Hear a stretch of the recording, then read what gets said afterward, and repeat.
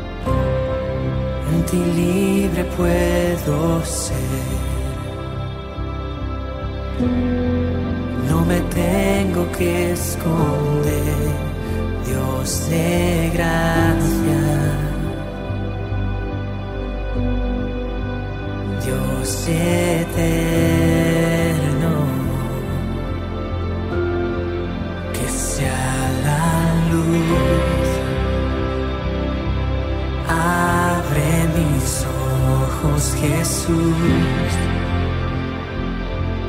Purifica mi corazón. Llena este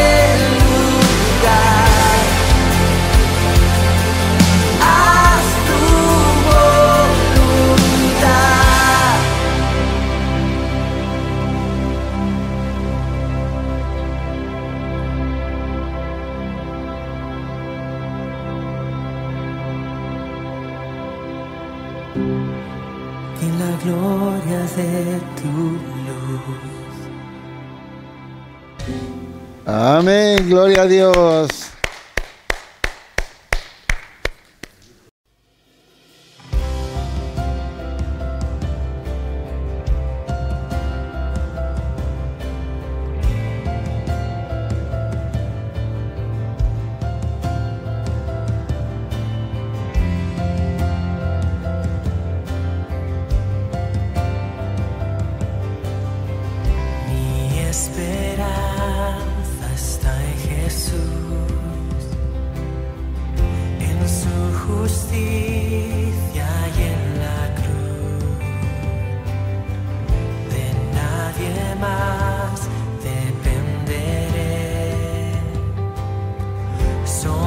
su nombre confiaré.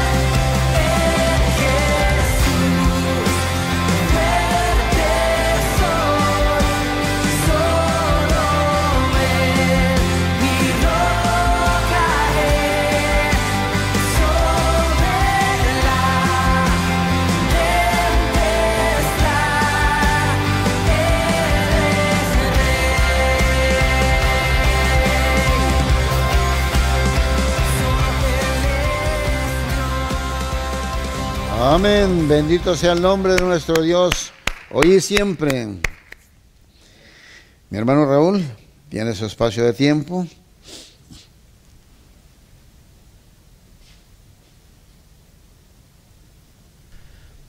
Buenas tardes, bienvenidos. Otra vez, gracias a Dios, nos ha dado otro día de vida y salud y estamos aquí presentes ustedes. Este, les quiero invitar, los que nos están viendo en vivo, que si se si encuentran cerca de aquí, los invitamos que vengan y nos acompañen. Y si no, que vayan a una iglesia donde les ministren, Amén. les enseñen y les hablen de la palabra de Dios. Este, porque es muy importante seguir esa palabra, porque esa palabra es palabra viva, eso es lo que nos da vida. Este, también los que nos están viendo por las redes sociales, los invito a que nos manden su nombre y su dirección. Y aquí tenemos un libro de, de muchos nombres. Y este, en este libro se escriben los nombres y se ora casi a diario por este libro, por diferentes miembros de esta iglesia, los pastores y, y la gente que viene aquí a esta iglesia. Este, también este,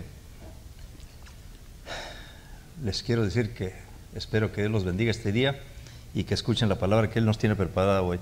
En este momento les voy a pedir que inclinemos el rostro. Voy a invitar a mis dos nietecitos a ver si quieren acompañarme a orar. You want to help me pray? Okay. Okay. En este momento les pido que inclinemos el rostro.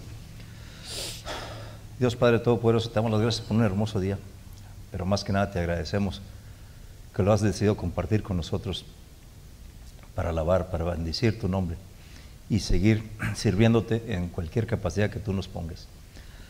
Ponga en tus manos a todos los nombres que están en este libro, Padre. Tú sabes lo que ellos necesitan y en el momento preciso que lo necesitan. Los pongo en tus manos y te pido que los acompañes, les ministres, que tu Espíritu Santo los acompañe para que puedan sentir su presencia cerca de ellos. Dios Padre, también te pido por todos los pastores que se encuentran aquí en esta área y por todo el mundo que se encuentran en este momento enseñando, predicando tu palabra.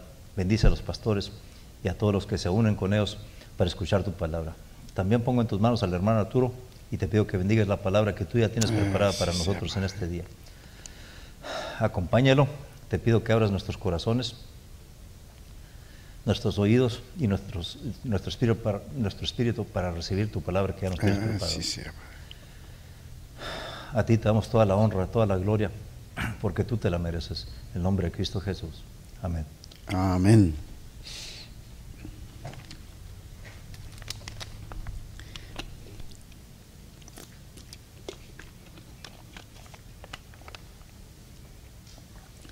Sean todos bienvenidos los que están conectados en la página principal de esta iglesia, los que nos van a ver por las redes sociales, en el Facebook, en el YouTube.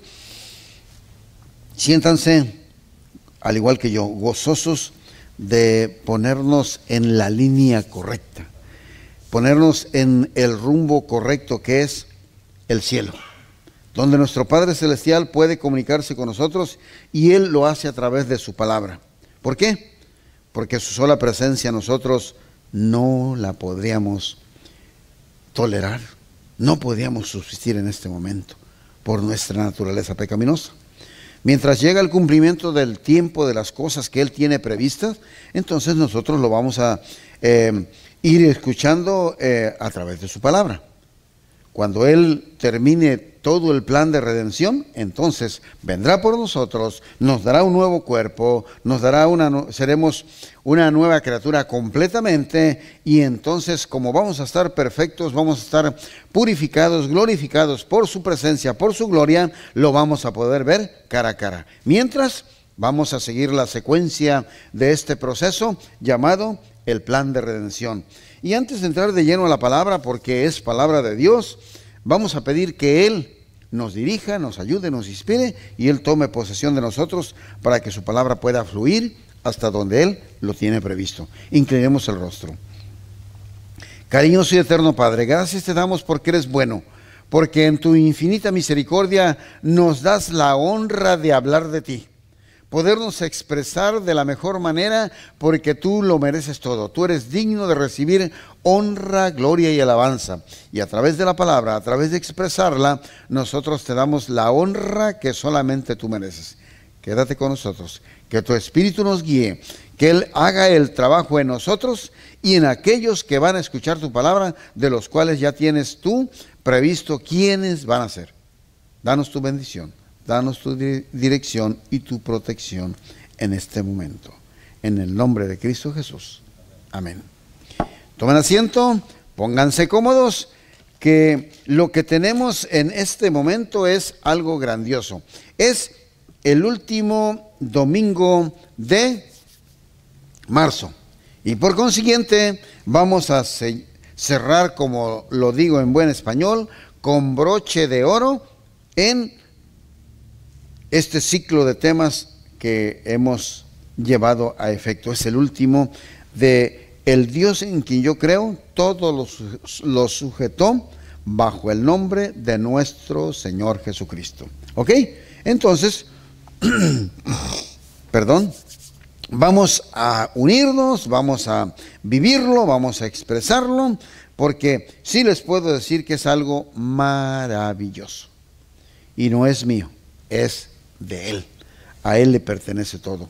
Nosotros, su servidor solamente es el siervo que Él hoy por hoy tiene atrás de este púlpito para que exprese su palabra. Así es que lo vamos a hacer con todo el corazón, con toda nuestra capacidad que Él nos da, que a Él mismo le pertenece, y con toda humildad. Que el nombre de Él solamente sea el único que sea exaltado, bendecido hoy y siempre.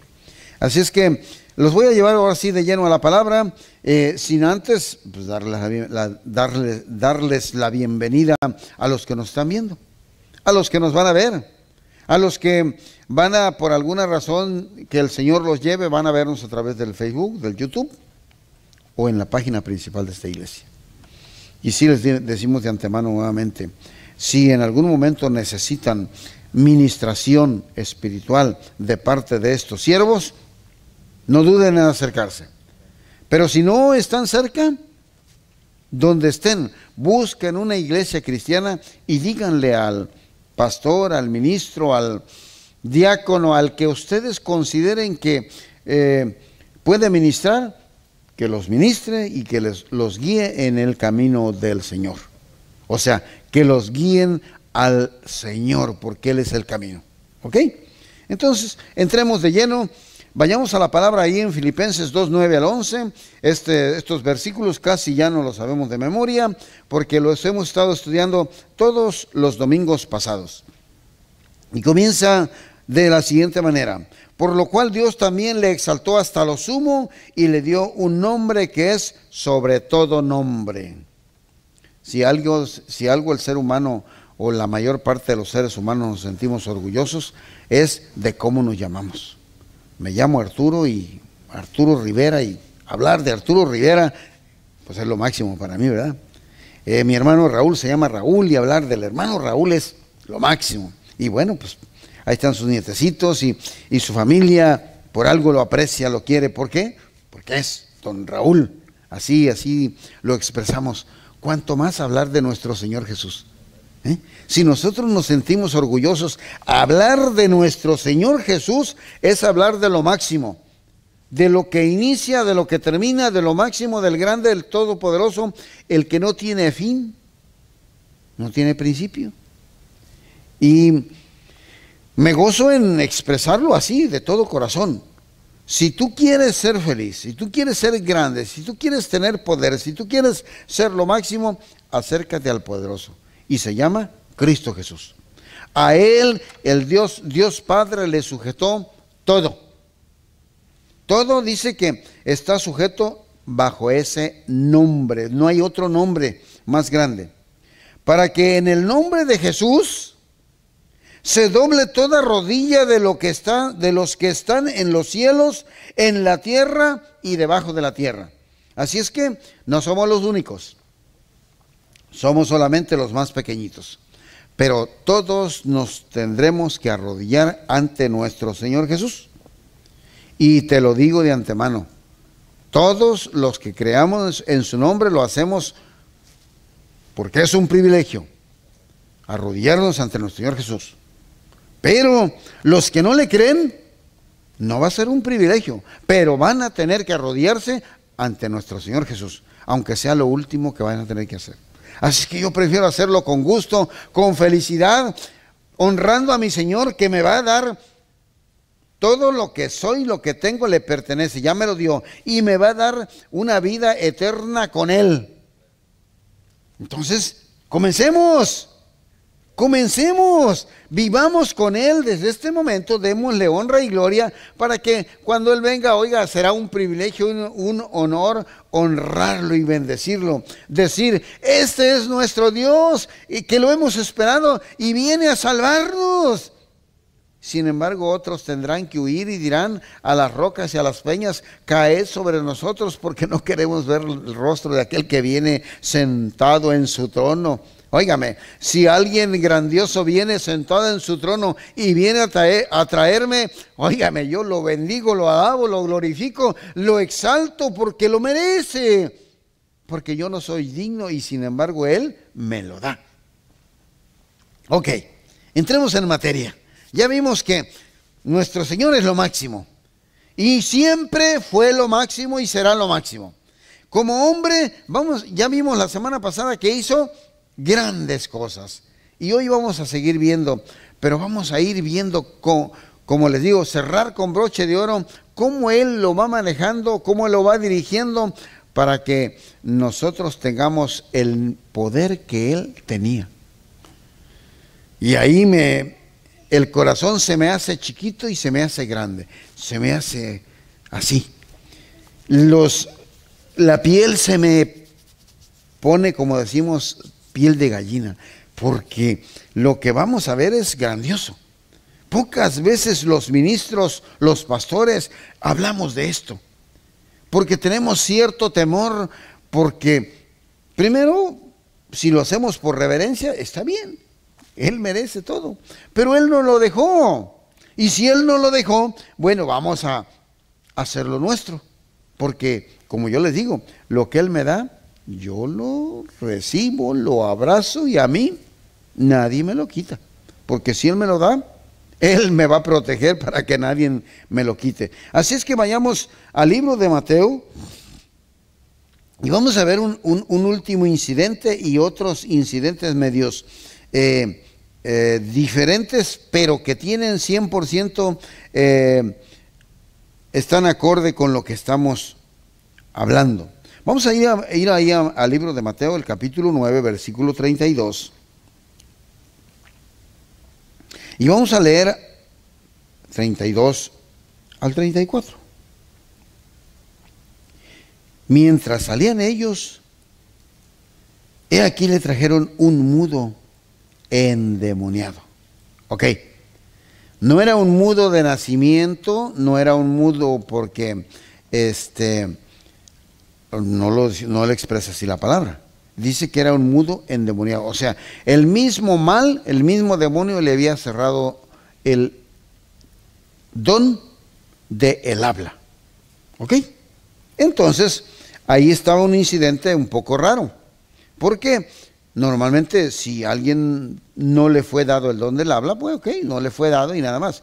Pero este se lo había quitado el demonio. ¿Ok?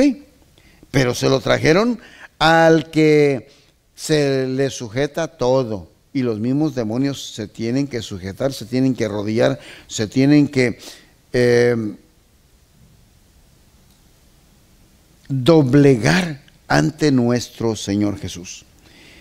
Y entonces, como Él lo identificó, nuestro Señor Jesús identifica que un espíritu maligno está en esa persona, y entonces dice, y le echó fuera el demonio primero. No le dijo, habla, no, no, no. Primero lo liberó de ese espíritu que lo estaba sujetando para que no hablara. ¿Ok?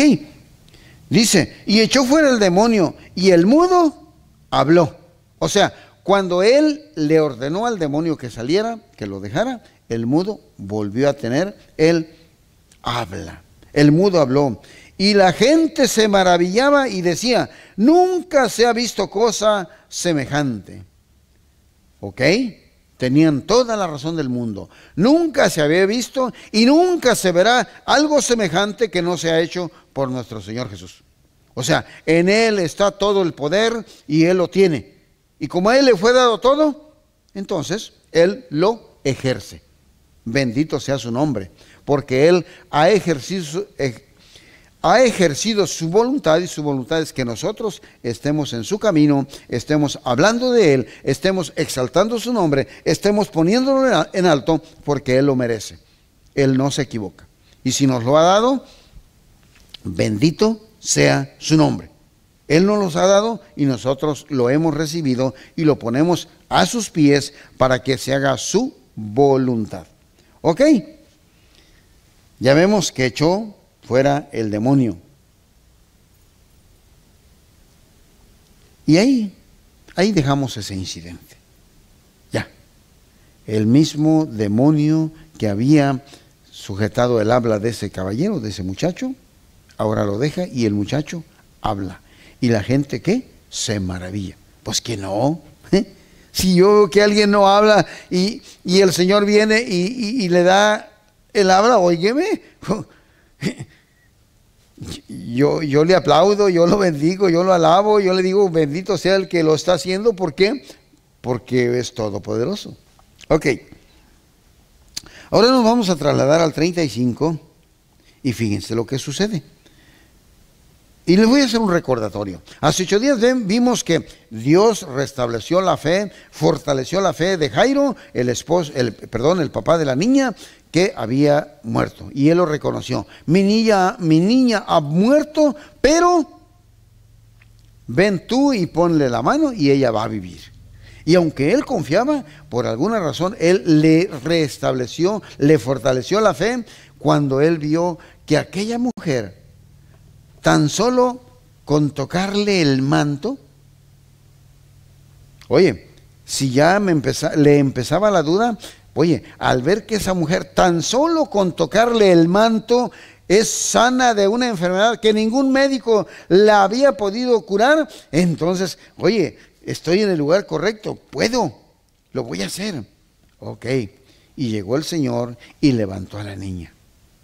La muerte se sujetó ante nuestro Señor Jesús. La enfermedad se sujetó ante el Señor Jesús. Y luego dice que dos ciegos lo siguieron gritando, Jesús, hijo de David, ten misericordia de nosotros. Y entonces, cuando llegó a la casa, los ciegos pidió que los ciegos se acercaran y solamente les preguntó, ¿creen ustedes que yo los puedo sanar? Y ellos dijeron, sí, Señor, creemos. Ya habían escuchado de todos los milagros que el Señor había hecho. Y entonces, Él les toca los ojos y ellos ven. Pero aquí lo que me llama la atención es que le dice, no le digan a nadie. Y en ese momento ellos salen, dice que toda la región se enteró de que ellos habían sido sanados. Y es lógico. Si yo veo a alguien que no veía y ahora ve, ¿qué creen que voy a hacer? Oye, ¿quién te dio la vista? ¿Cómo lo hiciste? ¿Qué médico tan bueno es? No, no fue ningún médico, fue el que dicen que es Jesús, que anda curando a todo mundo, oye, y que acaba de resucitar a la hija de Jairo, y que sanó a la mujer, y que sanó a los ciegos, oye, y ahora el mismo demonio nuevamente se vuelve a doblegar ante el Señor Jesús y lo saca de ese individuo, de esa persona, de esa persona, de ese joven, y el joven ahora recibe el habla. ¿Ok? Son de los lo que hemos visto recientemente. Pero ahora nos encontramos con algo diferente. Lo que ve nuestro Señor. Y, lo, y lo digo así, lo que ve nuestro Señor, ¿por qué? Porque Él pues todo lo puede, Él todo lo sabe. Veamos lo que dice el, el versículo 25 del capítulo 9 de, de Mateo y ahí vamos a seguir. Recorriendo Jesús todas las ciudades. Escucha, recorrió Jesús todas las ciudades y las aldeas, enseñando en las sinagogas de ellos y predicando el Evangelio del reino y sanando toda enfermedad y toda dolencia. Ok, los milagros se multiplicaron. La dolencia dejó toda aquella región ¿Y saben quién, y saben quién produce el dolor, la tristeza, eh, el sentirnos mal, el causarnos enfermedad? El mal. Cuando el mal entró, todo se echó a perder. Todo era perfecto cuando el Señor lo había hecho. ¿Ok? Entonces, el mal en toda dolencia, en toda enfermedad, tiene participación. Si a ti te duele algo, el mal te lo está causando. Si a mí me duele algo, el mal me lo está causando. Y bueno, aquí entramos donde hay situaciones que tenemos que sobrellevar porque porque le servimos al Señor, porque estamos en el lado del Señor. Y ese individuo llamado mal nos causa problemas. Pero como dijo Pablo, Pablo, Pablo que hizo grandes milagros también y que sucedieron grandes cosas, pero en su persona siempre dice que tenía un aguijón, no dice que era, pero dice que era un aguijón que lo lastimaba. Y sí, un aguijón es algo que si te pica, te duele. Si te roza, te lastima. Pero dice que tres veces se lo pidió al Señor, le dijo, quítate, quítame este aguijón, me duele.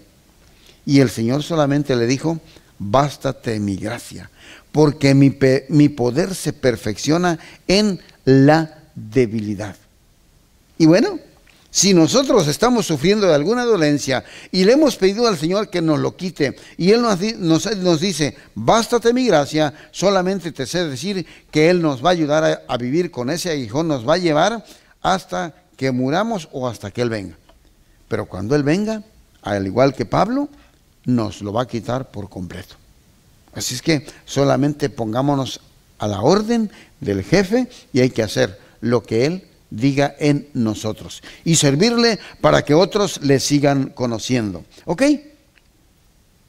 El Señor dice que después de esos milagros que vimos anteriormente, dice que recorrió Jesús todas las ciudades y aldeas, enseñando en las sinagogas de ellos, predicando el Evangelio del reino y sanando toda enfermedad y toda dolencia en el pueblo. Y al ver las multitudes, tuvo compasión de ellas, porque estaban desamparadas y dispersas como ovejas que no tienen pastor. El pastor de pastores, el jefe en toda la extensión de la palabra de nosotros, los que profesamos seguir su camino, se conmovió. Porque, y aquí es lo que yo no, no alcanzo a entender Espero que Él me lo aclare y que te lo aclare. Al ver la multitud, tuvo compasión de ellos porque estaban desamparados y dispersos como ovejas que no tienen pastor. Él había venido a pastorear. Él había venido a sanar. Él había venido a ayudarnos. Pero y aunque su poder es absoluto, aquí no entiendo por qué, por qué no podía acabar con toda la dolencia, con toda la, situación difícil que apremiaba en aquella muchedumbre. ¿Te das cuenta? Y bueno, cuando estemos delante de su presencia se lo voy a preguntar. ¿Qué pasó ahí? ¿Por qué? Porque como Él es todopoderoso y, y, ante Él se sujetó todo, eh, Él podía haber dicho, a ver, una predicación a lo grande, él lo podía. Y una sanidad en general, a una palabra de él lo podía haber hecho. Solamente lo que me viene a mi mente y con lo que me contesto por el momento esta pregunta es que la gente no creía en él. El resto de la gente y como quiera él le conmovió que estando él presente y habiendo hecho grandes milagros y dice que al principio había sanado toda enfermedad y toda dolencia y todavía la gente que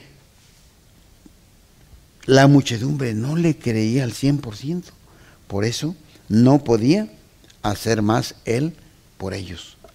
Quiero decirte que es la lección que tenemos que sacar de esta situación. Nosotros tenemos que creer en Cristo Jesús para que Él pueda hacer el resto. Porque si no creemos, Él lo dijo, al que cree, todo le es posible. Por eso lo veo yo de esta manera. Y por eso digo que no lo entiendo. ¿Cómo esa gente, viendo lo que el Señor Jesús estaba haciendo, lo veían, lo palpaban? Es más, muchos me imagino que habían comido de cuando Él multiplicó los panes y los peces y todavía no creerle. No lo puedo entender, por eso digo, no lo entiendo. No por Él, no lo entiendo por nuestros hermanos, por nuestra raza, por nuestra gente, que no le cree al Señor Jesús sabiendo que en Él podemos encontrar vida, vida en abundancia. Tenemos eh, enfermedad, podemos encontrar la sanidad. Tenemos dolor, Él no lo puede quitar. Ok. Ahí vamos sobrellevando las situaciones y las cosas porque hay cosas espirituales, cosas que no podemos entender, sobrellevar. ¿Cómo es nuestra gente, nuestra raza? Que el Señor nos da todo y ni siquiera extendemos las manos para recibirlo. Yo lo digo, si a mí me lo da, oye Señor, gracias, yo te alabo, te bendigo, yo brinco, yo salto, todo lo que el Señor me dé es bien recibido, pero ese soy yo. ¿Cómo entender a los que ni siquiera les interesa? No puedo. Ahí sí me manifiesto incompetente, no puedo. Pero bueno, el Señor un día me lo aclarará si no es en esta tierra, es en el cielo. Pero eso es mi seguridad. Él me lo va a aclarar. Ok, sigamos. Ahora vamos a ir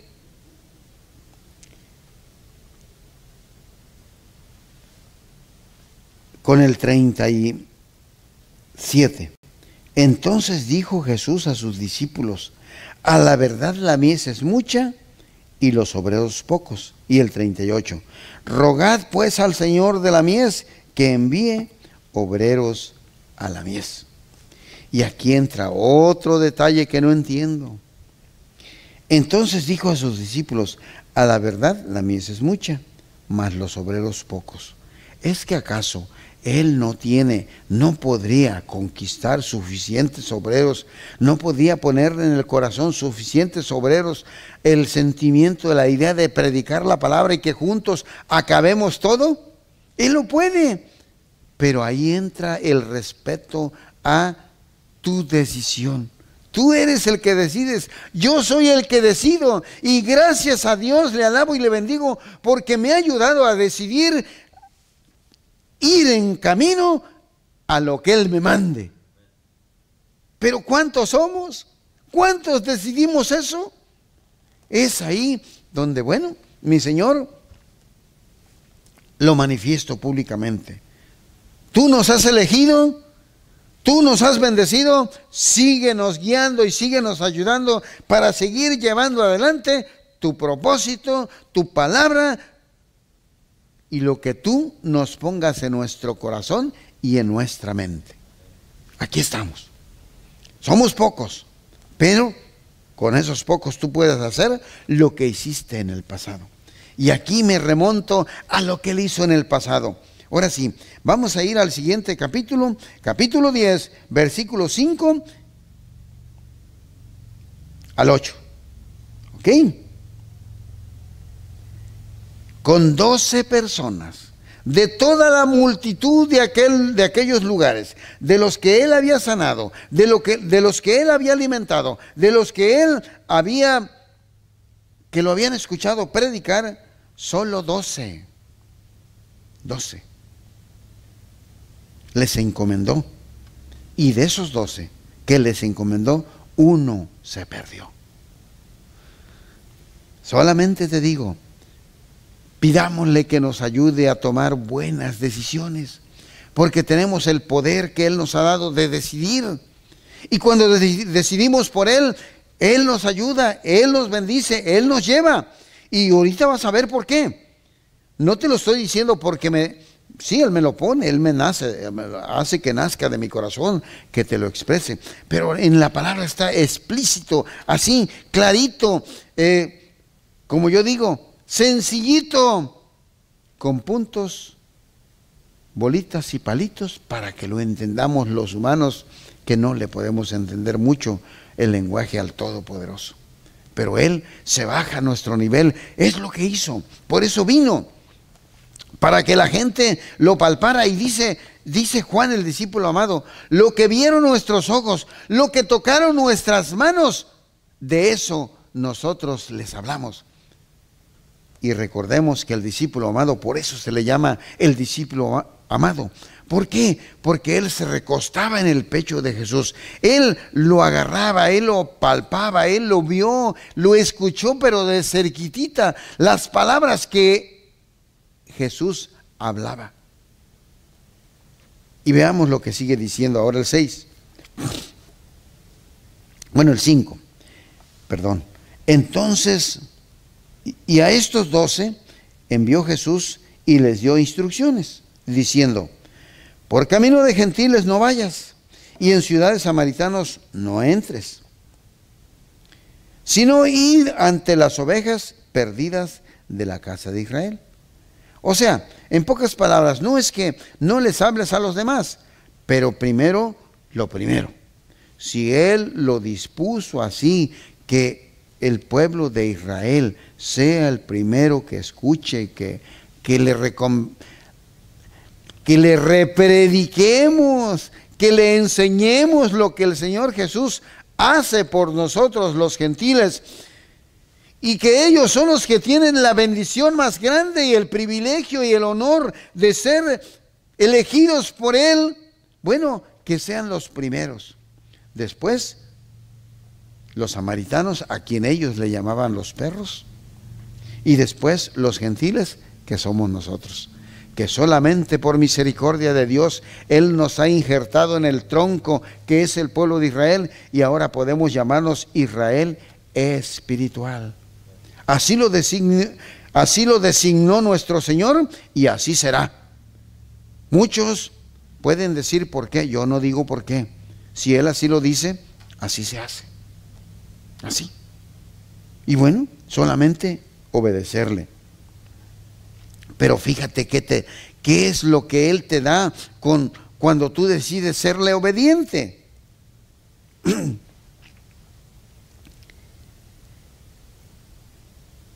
El 7. Y yendo predicar, diciendo, el reino de los cielos se ha, se ha acercado. Y hago un paréntesis. ¿Qué estás predicando? ¿Qué estoy predicando? Que el reino de los cielos, el reino del Todopoderoso se ha acercado, ha llegado hasta nosotros y ahora nosotros somos parte del reino de Jesucristo y lo tenemos que predicar para que otros lo conozcan. No estás hablando, no estoy hablando de algo sencillo, de algo común, no. El reino de los cielos, el reino de nuestro Padre Celestial, del cual ya nosotros somos miembros, somos sus súbditos, porque a Él así le ha placido, ahora nosotros tenemos que predicarlo.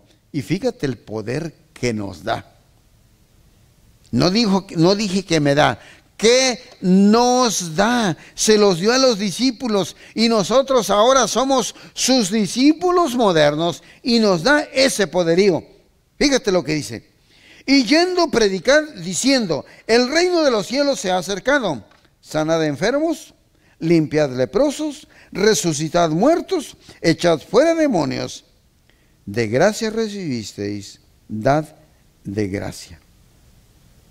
Esa es la indicación y con lo cual cierro con broche de oro este ciclo de temas o este tema hecho en cuatro partes del Dios en quien yo creo, todo lo sujetó en el nombre de nuestro Señor Jesús. ¿Ok? Y fíjate cómo cierra el Señor. Esta indicación se la está dando a sus discípulos. Fue primero a los doce. Sanad enfermos, limpiad leprosos, resucitad muertos, echad fuera demonios, de gracia recibisteis, dad de gracia. O sea, lo que el Señor me ha permitido que yo viva, que yo tenga, así, lo tengo que dar. Ese es lo que Él me dice y yo lo hago con gusto. Y aquí suspiro porque hay cosas que no se han logrado o no hemos hecho todavía los que decimos ser cristianos. Algunos, otros dicen que sí lo hacen. Pero yo me quedo solamente en darle el lugar al Señor Jesús que le corresponde. Y que Él haga en mí, en ti, lo ponga en mí, lo ponga en ti, lo haga realidad en mí y en ti, cuando y como a Él le plazca. Él es el que lo dio, Él es el dueño y yo solamente lo recibo como Él quiera dármelo.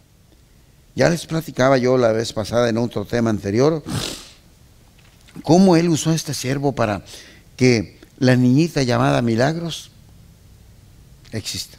No fui yo, fue Él. ¿Ok? Solamente fui el instrumento, el mismo que estoy siendo el instrumento para que tú conozcas la palabra. Y si tú la estás conociendo a través de, de, este siervo, solamente te invito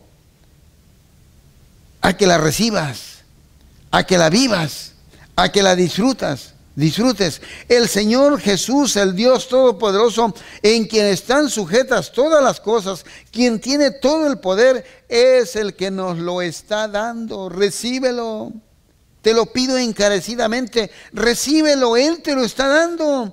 No endurezcas tu corazón. Ábreselo. Dile, Señor, no puedo de ninguna forma, no lo entiendo, pero aquí estoy. Y Él pondrá en ti y en mí el querer como el hacer por su buena voluntad.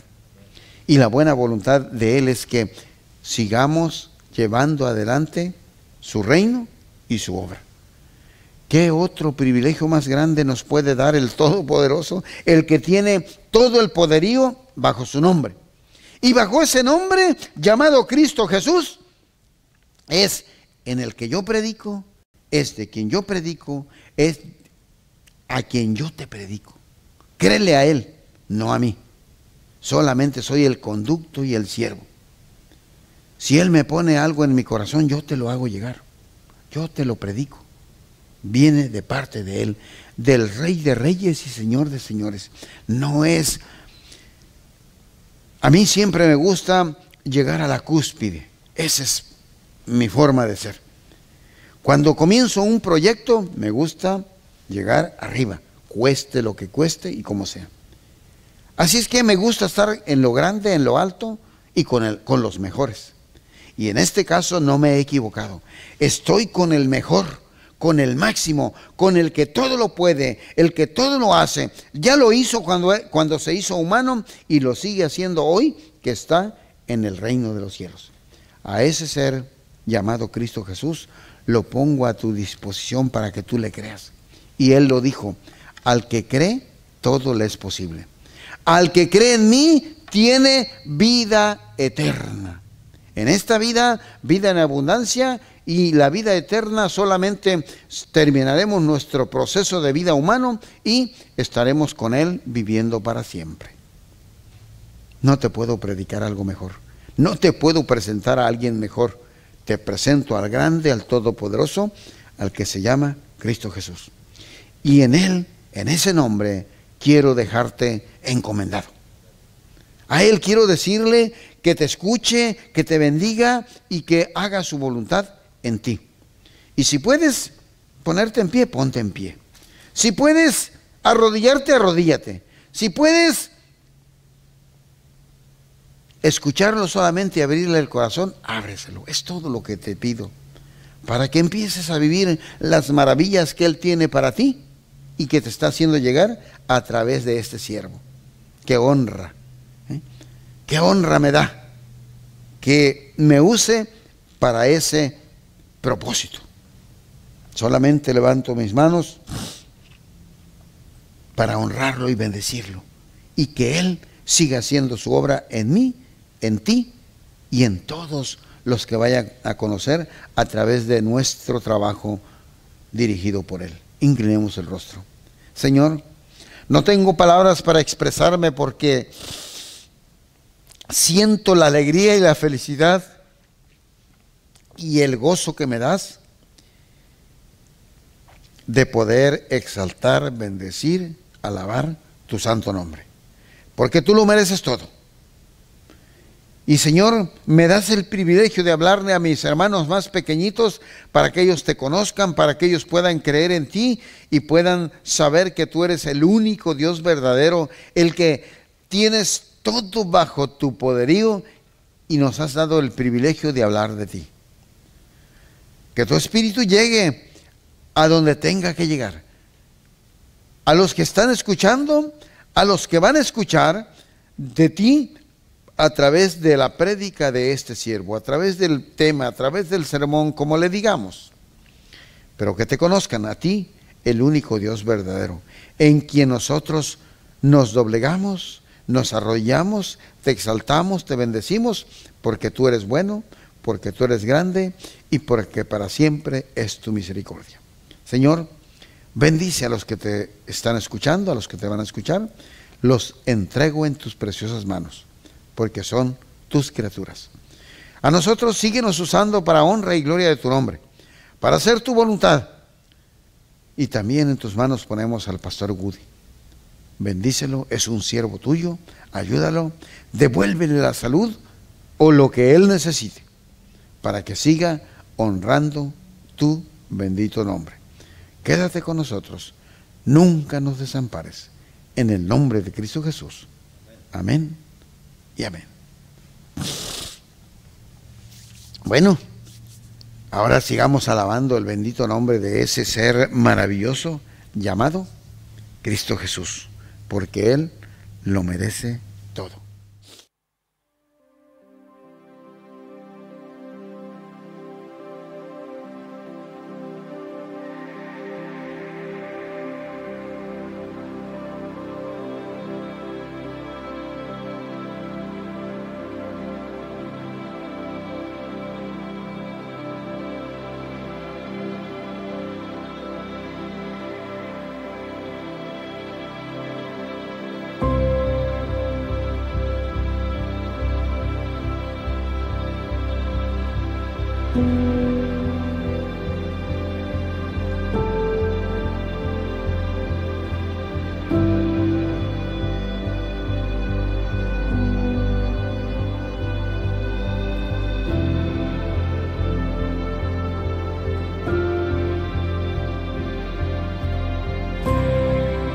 ti no hay oscuridad.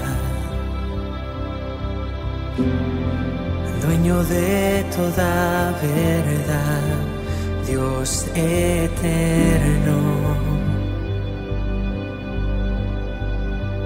Dios de gracia.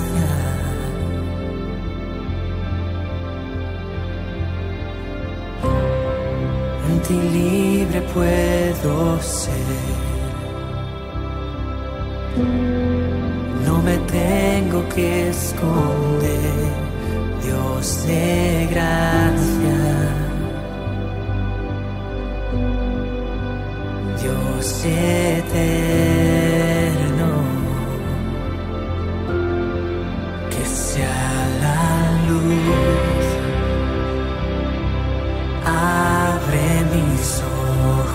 Jesús.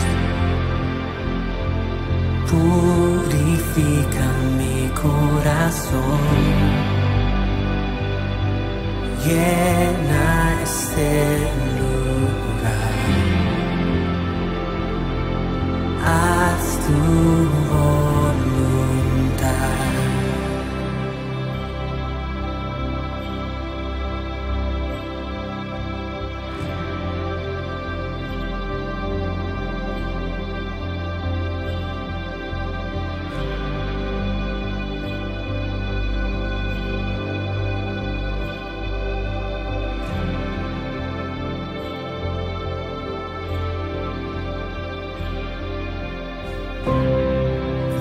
barreras en tu amor. Tú no haces acepción, Dios del cielo. Dios de gloria.